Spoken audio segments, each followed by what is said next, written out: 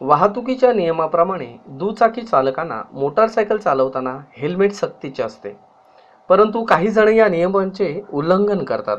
यासाठीच आज रायगड जिल्ह्यातील माणगाव येथे मुंबई गोवा हायवेवर अशा बिना हेल्मेट दुचाकी स्वारांवर पोलीस यंत्रणेकडून धडक कारवाई करण्यात आली.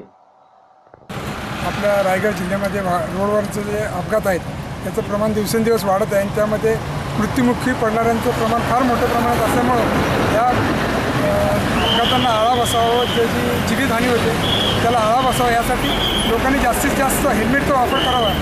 लोक हेल्मेटचा वापर करत नाही त्यामुळे हा ड्राईव्ह घेण्यात आलेला आहे. आज दिवसभरात आत्तापर्यंत संध्याकाळी सहा वाजेपर्यंत एकशे सत्तर विदाऊट हेल्मेट चालक धारकांवर कारवाई करण्यात आलेली आहे. आतापर्यंत आपण बघितला तर मुंबई गोवा हवेवर जास्त प्रमाणात दुचाकीचे ॲक्सिडेंट होतात.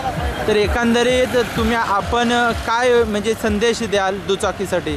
की हा जो पुणे मुंबई मुंबई गोवा जो हायवे आहे हा अतिशय छोटा आहे. आणि त्यामुळं की रोड ट्रॅफिक जाम झालं की विविध दिशेने मोठी वाहनं वेगात येतात. आणि त्याचा बळी हटणं हा जो दुचाकी वाहक आहे त्याला होतो.